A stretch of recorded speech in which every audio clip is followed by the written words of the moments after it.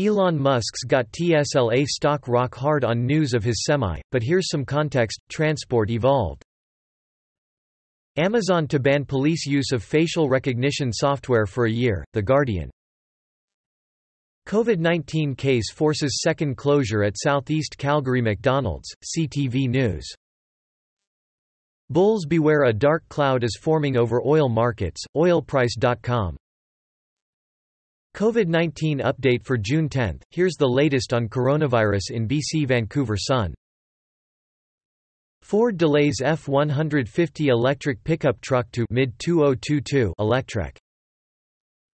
Ford recalls 2.5 million cars for faulty door latches and brakes, BNN Bloomberg.ca. Opposition accuses province of not being ready for demand on PPE, VOCM. S&P, TSX Composite drops midweek on energy and financials weakness, CTV News.